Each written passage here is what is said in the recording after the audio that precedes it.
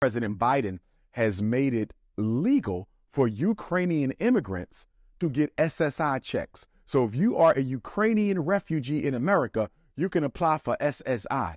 Help me understand that because we have the highest black homelessness population since the 1960s. You got black people living on the street because they can't find a job and can't get any subsidy. But you're going to bring immigrants, didn't build this country, don't pay taxes, don't have a job, never paid into Social Security, but they're going to get Social Security benefits.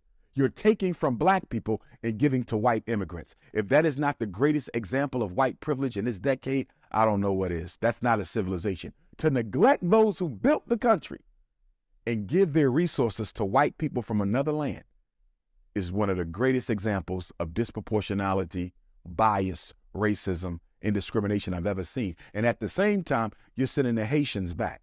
Haitians got to get on a boat and go home, but the Ukrainians can come get free housing, free medical, free insurance, and an SSI check. But at the same time, white people tell black people, get off welfare.